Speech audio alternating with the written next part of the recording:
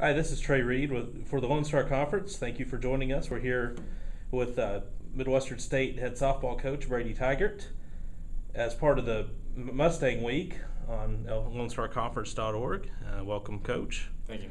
Uh, off to a great start this this uh, this year, six and zero at the Grand Canyon Invitational. Um, what was your uh, general feel for your team? Um, well, it's definitely the first weekend. You know, we've got jitters going out there. We've you know got some question marks that we got to answer. Um, but uh, you know, the best part was uh, being part of the Lone Star Conference, the only team out in Arizona in better weather. So uh, we were pretty happy to be out there and, and playing some uh, good facilities and great weather.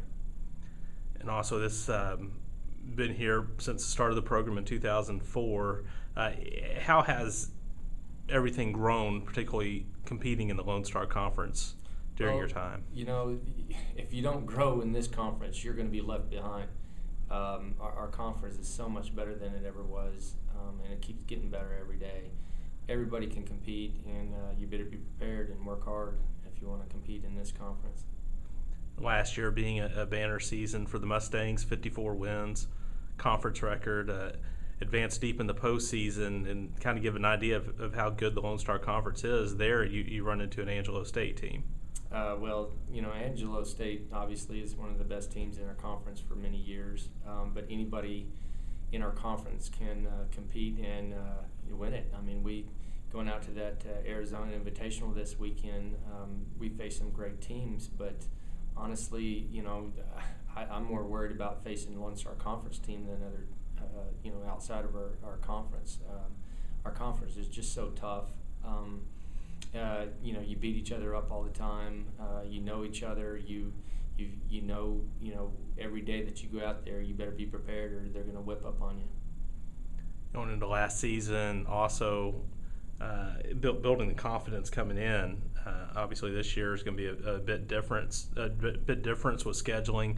So going from a four-game schedule in the old LSC North now going to the three-game schedule, uh, how's that going to benefit or, or, or hurt you?